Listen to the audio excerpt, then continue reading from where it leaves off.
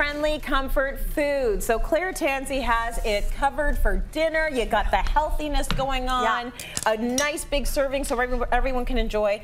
Now meatloaf um, has been mm. a popular meal, go-to meal forever. Mm -hmm. You're making salmon loaf. Making salmon loaf with canned salmon. That is so good for your bones okay, you, and your hair. Speaking of your, your bones skin. and your hair, don't get any hair in that.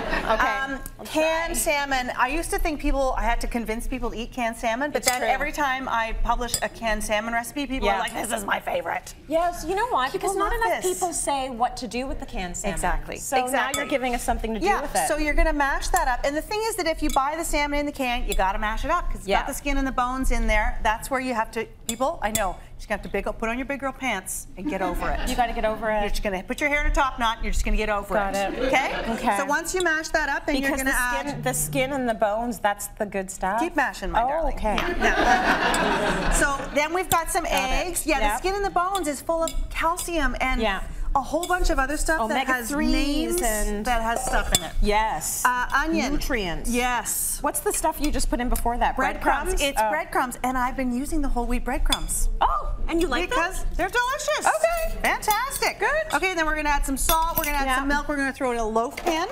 Okay. You're gonna grease the loaf pan like it. nobody's business. Okay. Learn from my mistakes. Okay. And then that takes about an hour in the oven. Yeah. Amazing. Look at this. It's like, it is so delicious. People love it. And easy, easy. It's so easy.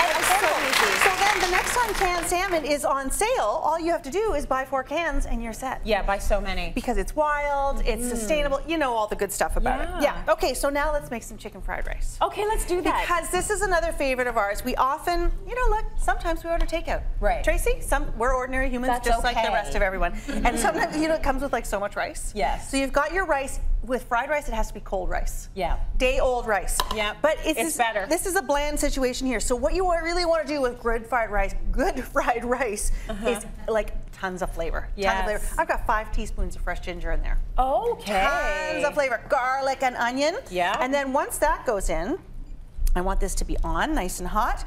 Then I'm gonna add some vegetables. This is the kind of, as long as you've got this in it, I don't care what else you add. Yeah. So I, I happen agree. to have broccoli and peppers, so it's that's gonna go in. in. The, whatever's in the fridge. Exactly. Whatever vegetables you need to get rid of before it turns to slime. Whatever vegetables your children will eat. Mm -hmm. And then this is the genius part of the fried rice, is that you fry it all up together. Yeah. And in doing so, the rice gets a little bit crispy. It also, like, it's two days old, maybe you don't really want to eat it, but you yeah. fry it and it's safe to eat it's again. perfect. yes. I am here. I'm, we are going to reduce food waste. We are going to yeah, make people happy. It. And then a couple of eggs.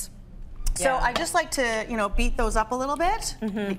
that, so that, that, came out wrong. Uh, I like to mix them up a little bit. Mm -hmm. And then you incorporate that, and then I also have some leftover oh, chicken. nice. The, and again, could be shrimp, could be pork, could be tofu, could be chickpeas. Yes. You do you. And that goes in, drizzle with some soy sauce and some sesame oil. It is a winner, a big, big That is winner. so good. That is a great weeknight meal. We uh, turn to that quite a bit